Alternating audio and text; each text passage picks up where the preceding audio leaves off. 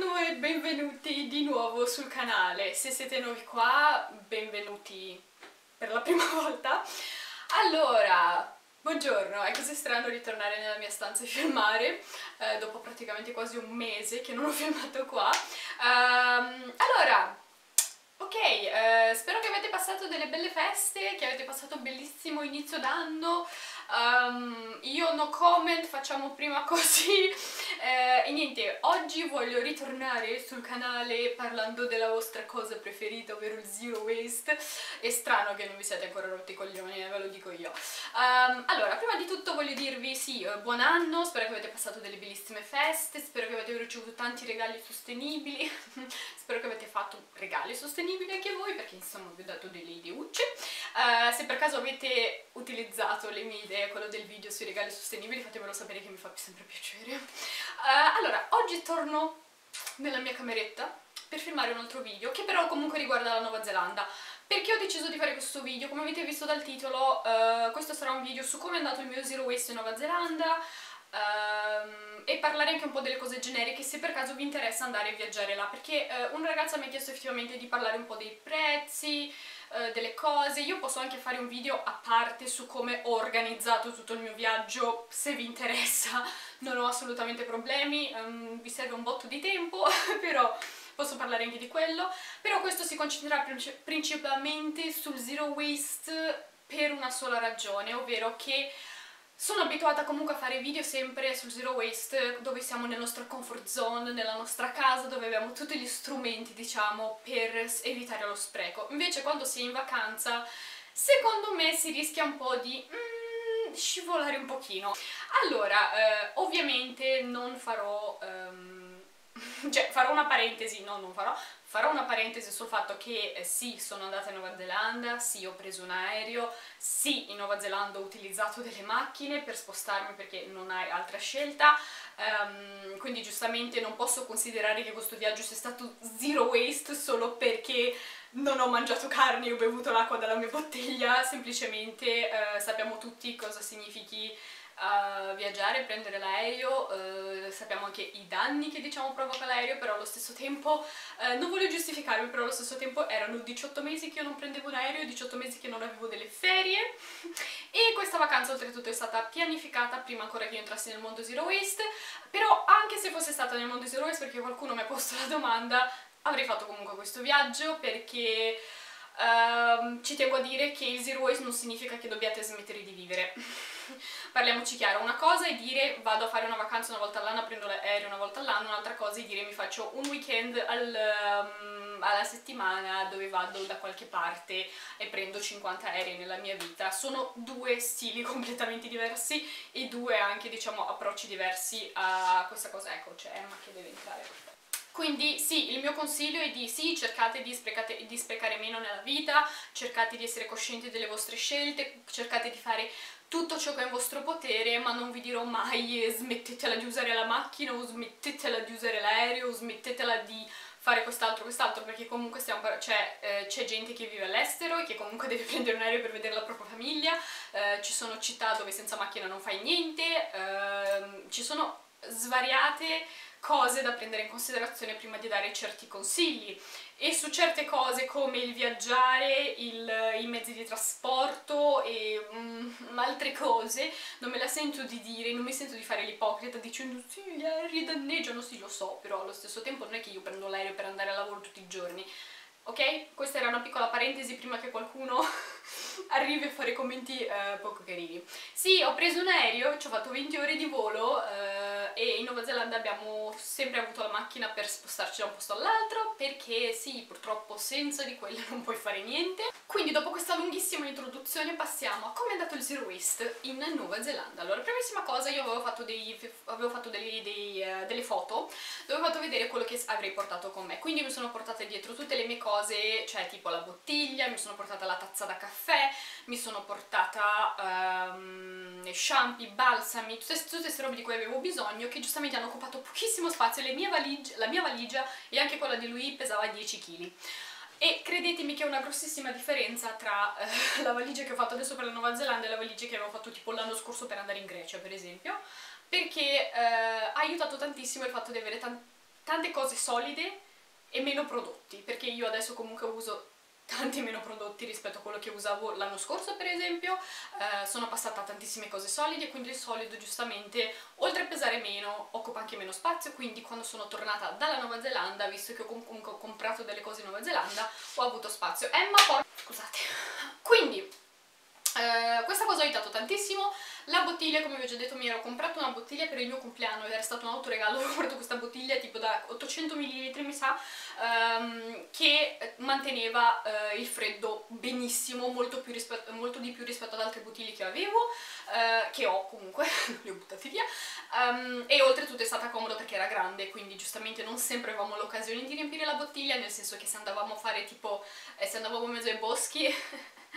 ci ti tenevi quella, ecco. Quindi eh, diciamo che quella è stata una cosa da non dimenticare mai, state tranquilli, all'aeroporto non, non, ve la buttano via solo perché è di metallo, basta che non sia piena. Uh, poi mi ero portata dietro comunque le cannucce, gli, gli ustensili, tutti i miei ustensili sono non in bambù, sono fatti in uh, mais, ecco, sono fatti in mais, quindi non mi hanno fermata, non mi hanno fatto problemi, le mie cannucce sono in vetro però, quindi avevo paura che mi fermassero per quello, ma in realtà alla fine non mi hanno fermata. E poi ho portato anche tutte le mie, le mie box, quelle che uso per i recipienti per il cibo. Cosa è successo? Ho usato tutte queste cose, mi sono state utili, onestamente sono state inutili e vi spiego anche il perché. E vi spiego, allora la bottiglia d'acqua assolutamente indispensabile, quella pazzesca, senza di quella non sarei sopravvissuta. Allo stesso tempo vi dico anche che io quando sono in vacanza faccio turismo evito di bere troppo perché mi scappa pipì subito, quindi non, volevo evitare di bere troppo e boh, non avere un bagno a disposizione, come vi ho già detto eravamo sempre quasi in mezzo alla natura, quindi giustamente ehm, cioè, anche un po' più impossibile trovare un bagno. Um, e quindi quella la bottiglia è stata sicuramente la cosa più indispensabile che ho vabbè, utilizzato durante questo viaggio e ho utilizzato la uh, tazzina da caffè una volta. Uh, è stata inutile assolutamente sì uno perché eh, due ho portato le due tazzine di vetro quindi pesano in ogni caso quindi erano sempre là in valigia a occupare spazio e non le ho mai usate. Perché? semplice. In Nuova Zelanda io sono stata eh, sorpresa su quanti pochissimi fast food esistono, prima cosa. In qualsiasi città, pochissimi fast food, ci sono comunque normali ristoranti, normali baretti da caffè, eccetera, eccetera, però le grandi catene che sappiamo esistono, tipo Starbucks, Starbucks l'ho visto tipo forse nella capitale. Le altre città, vabbè che noi abbiamo girato tanto in mezzo alla natura, però comunque siamo state anche in due città, cioè in due città grandi, e io Starbucks l'ho visto veramente poco. Uh, poi in McDonald's ne avrò visto uno in una città e in altre città proprio non c'era proprio. Quindi fast food non sono una cosa che va tantissimo. Io ero tipo uh, ero innamorata di questa cosa perché era bellissimo non vedere le cacchio di catene fast food che io detesto con tutto il mio cuore quindi per la tazzina da caffè per esempio c'erano questi mini baretti dove tu andavi a prenderti il tuo caffettino, un po' come i baretti italiani. Tu vai, prendi il caffettino, ti siedi, sta zitto e stai là a far colazione. Mi dava l'impressione di essere un popolo più chill rispetto ai canadesi che non ce la fanno non ce la fanno a starsene seduti a prendere un caffè. Quindi diciamo che le tazze sono risultate un po' inutili a una certa perché ci fermavamo sempre, prendevamo il caffè seduti, con calma, avevamo tutto il tempo del mondo, eravamo in vacanza. Eh, pochissima gente Oltretutto c'era pochissima gente che prendeva il caffè da portare via e se lo prendevano da portare via ho sempre visto un sacco di gente con la tazza uguale alla mia, ero tipo oh eh, questa tazza la vendevano quasi ovunque, la vendevano in quasi, in, quasi in tutti i baretti o comunque in posti mh, mm, più grandi perché comunque siamo, ci siamo fermati anche in posti in mezzo al nulla dove c'eravamo magari solo col baretto. E quindi lì eh, magari non avevano questa cosa. Però a prescindere c'era tantissima gente con la tazza riutilizzabile onestamente ero in estasi in estasi. E poi tantissimi posti avevano anche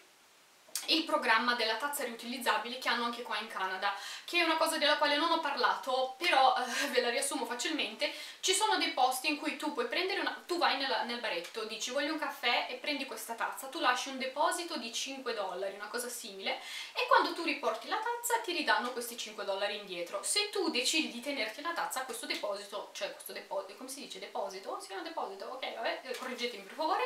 Um, questo deposito non ce l'hai indietro se tu decidi di tenerti la tazza. Questa, la stessa cosa facevano anche in Nuova Zelanda, davi tipo 3 dollari e um, riportavi la tazza e loro ti ridavano questi soldi, se no dicevi direttamente guarda la tazza me la tengo e pagavi 3 dollari che non sono nulla per una tazza riutilizzabile, oltretutto erano pure meglio perché in Nuova Zelanda vendevano le tazze um, in metallo, che quindi significa che il calore si mantiene meglio rispetto a queste di plastica che hanno qua in Canada, ma comunque um, è un, è, è un diciamo, come si dice? È un'idea buona comunque per la gente che decide di, uh, di, volere una tazza riutilizzabile, non pagarla troppo, averla sul momento, la comodità diciamo, perché alle volte le persone sono pure pigre, quindi la comodità di trovarla nel posto dove tu vai a prenderti il caffè uh, è veramente comodo. Non so parlare, bene. Quindi, Da questo punto di vista uh, le cose sono state inutili perché principalmente non ce n'era bisogno, non c'era bisogno che io mi fermassi uh, a prendere il caffè e poi riportarlo, ogni, ogni, tanto capitava che magari dovevamo guidare tanto, quindi giustamente dicevo vabbè mi prendo piuttosto il caffè al mattino, me lo prendo bene, poi iniziamo a guidare e amen, non serve per forza avere sempre il caffè dietro, cosa che diciamo che qua in Canada ogni tanto io la tazza comunque la uso quasi sempre perché al lavoro eh, dopo pranzo vado a prendermi il caffè al baretto perché la macchina caffè che abbiamo al lavoro è orribile. Quindi questo è principalmente l'uso che faccio, oppure al mattino se non ho tempo per fare colazione mi fermo al baretto e mi prendo il caffè. Però giustamente quando sei in vacanza c'hai un, un altro mood, hai più tempo, non è che dici oddio ho i minuti contati, quindi però a prescindere ho trovato che in Nuova Zelanda la gente fosse meno sprecona um, da questo punto di vista, poi in generale il, il, il, la raccolta differenziata bellissimo, bellissimo. Qua in Canada, come vi ho già detto, c'è l'umido, c'è il compost, um, la spazzatura dove c'è tutta l'indifferenziata, poi c'è uh, le cose da riciclare che però vanno tutte insieme, cartone, vetro, uh, plastica, sono tutte nello stesso posto, poi loro dicono che le separano um, dove le separano. Vabbè, io, io voglio dare il beneficio del dubbio, però vabbè. In Nuova Zelanda invece c'era, come in Italia, almeno a Venezia era così, eh, è così, ovvero che c'avevi carta, plastica, vetro, indifferenziata e, e robe um, l'umido. Dappertutto, anche nei centri commerciali, dappertutto. Io ero in estasi, vi giuro, pure uh, dal benzinaio c'era questa cosa, dal benzinaio, va bene? io niente, io ero innamorata, io avevo gli occhi a cuoricino. Seconda cosa, seconda cosa, ui, questa lista è iniziata 10 minuti fa, ma dettagli. Un'altra cosa è che comunque eh, i canadesi dicono di essere tanto amanti della natura, ma credetemi che un popolo come la Nuova Zelanda che ama la natura non esiste. Eh, le città erano pulitissime, non c'era una cartina per terra, non c'era un, un, un, pezzo un, pezzo di, bottiglia per terra, vi giuro, anche nelle città grandi le strade erano pulite, perché forse la gente è più educata, quindi la loro cacchio di spazzatura la buttano nei cestini o se la portano dietro, non in giro per strada. Perché anche qua in Canada, nonostante loro puliscano le strade, il Canada è un paese molto pulito, comunque eh, la tazza usa e getta per strada in mezzo alla neve la trovi sempre, cosa che in Nuova Zelanda non c'era niente per te, vi giuro, io credo di aver raccolto una cosa in 16 giorni che sono stata in Nuova Zelanda, una, una ed era tipo una bottiglia di plastica, basta. Uh, quindi questa cosa niente, niente, io ero innamorata, io mi sono innamorata e voglio trasferirmi là, ho deciso. Quindi, eh, sì, per quanto riguarda il cibo, la stessa cosa, diciamo che ho utilizzato ogni tanto i miei contenitori per il cibo quando andavamo al supermercato per prendere tipo magari delle cose già pronte. Giustamente noi siamo stati in hotel, eh, in qualche bed and breakfast, in, in, alcuni posti avevamo la cucina, però sapete, quando sei in vacanza tu eh, ti svegli al mattino, mangi la tua colazione e poi parti tutta la giornata, perché non è che stai in, in appartamento, non sono andata in Nuova Zelanda per stare in appartamento quindi non, poteva, non avevamo sempre la possibilità di cucinare, quindi quello che facevamo è che se eravamo fuori, ci fermavamo in qualche ristorantino, robe così, Uh, sì, la, la, sera ogni tanto se tornavamo presto uh, compravamo delle cose magari già usate e già, già, preparate uh, e le riscaldavamo, robe simili. Quindi quando dovevamo comprare quelle cose magari mi portavo i miei contenitori, non mi hanno fatto problemi da questo punto di vista. Um, per pranzo se ci fermavamo in qualche ristorantino comunque avevo sempre scelta. Uh, tranne qualche volta mi è capitato che eravamo in mezzo al nulla, quindi le opzioni vegetariane erano un pochino scarse, però comunque in ogni caso le opzioni vegetariane c'erano. L'unica cosa che avrei da dire è che le opzioni vegane forse non erano la cosa più uh, sorprendente ever, um, mancavano un pochino. Io vabbè sono vegetariana quindi ok, però diciamo che per un vegano dove siamo stati tipo in mezzo al nulla, nulla, nulla, nulla vi giuro, le primissime foto che avete visto se mi seguite su Instagram eravamo veramente in mezzo al nulla, avevamo un ristorante. Uh, e con ristoranti già scarseggiavo di opzioni vegetariane, figuratevi vegane. Uh, però comunque sono riuscita a mangiare senza problemi, ho trovato sempre le cose eh, oltretutto lì era estate, quindi era anche stagione di frutta, verdura, tutte robe, robe così, quindi non ho avuto problemi comunque a mangiare. Sicuramente i primi giorni ho fatto fatica perché avevamo solo un posto dove andare a mangiare e niente, ogni tanto tipo magari dicevamo dai per pranzo ci prendiamo un panino del, del baretto, bla bla, però tutti i panini erano tipo uh, o con la carne o con il pesce o con tipo 50 tipi di formaggio che io, ok che posso mangiare il formaggio ma sono un po' intollerante quindi non posso mangiare una cosa fatta solo di formaggio, tipo se mi dai una pizza e quattro formaggi vomito. Quindi diciamo che all'inizio, i primi 3-4 giorni in cui siamo stati a Queenstown è stato un po' così, poi però a un certo punto abbiamo trovato un food truck, un food truck, ok, food truck, che era tutto vegetariano, vegano, io ero tipo io ti amo, ti adoro, tieni i miei soldi. Quindi è stato molto bello questa cosa perché era un food truck, non era neanche un ristorante, era un food truck, vabbè. Quindi eh, da questo punto di vista diciamo che sono stata un po' eh, all'inizio, siccome era stata la prima destinazione, ho detto oddio non riuscirò a mangiare niente perché comunque la Nuova Zelanda è famosa per la carne d'agnello